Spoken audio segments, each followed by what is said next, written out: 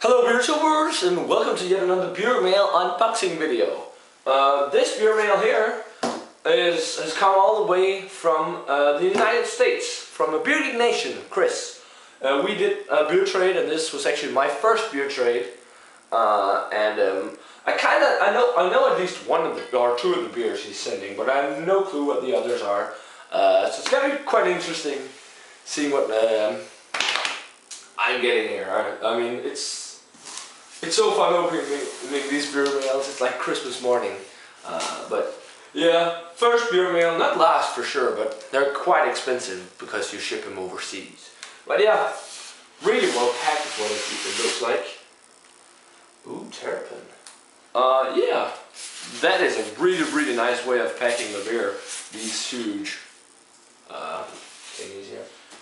Okay, this was the main beer we traded for. This bad boy. Three Floyds Dark Lord. Finally in my grasp. Um, Jakob actually also uh, pitched in for the trade, so we're um, splitting. We split the price for the sending the beer mail and um, also for uh, for the beers. So uh, we initially just wanted to trade the um, Blåbær Lambik and then we, we were going to trade that and then he threw in some extras and I did too. But yeah, Three Floyds Dark Lord, Russian Imperial Stout. Awesome. Looking forward to be trying this a lot. The next one, let's see here. Oh yeah, that was also the one of the beers we agreed on. Um, Jester King, Black Metal, Imperial Stout. We really needed to try this one. Um, I mean, Black Metal Imperial Stout, and I'm a metalhead, I really needed to review this. but it's actually, it should be really, really good. So, um, nice. And the uh, bonus beers here, let's see what it is. Stone.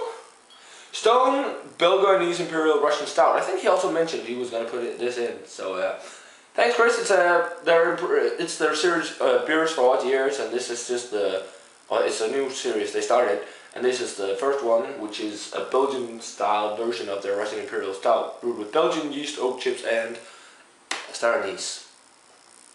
Uh, thanks, Chris. And we've got some other ones here. Terrapin. Uh, nice, cool. I've never had a Terrapin beer, so I'm really looking forward to trying this or sharing this with uh, Jakob. It's uh, the Terrapin Monster Beer Tour uh, Gamma Ray, a wheat wine brewed with honey. It's quite interesting.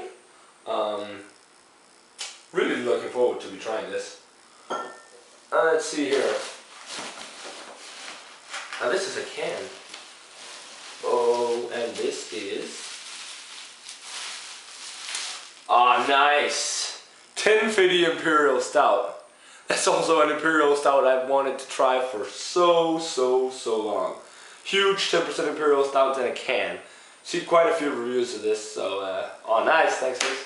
Looking forward to trying that. And craft beer in a can, I think that's pretty cool too.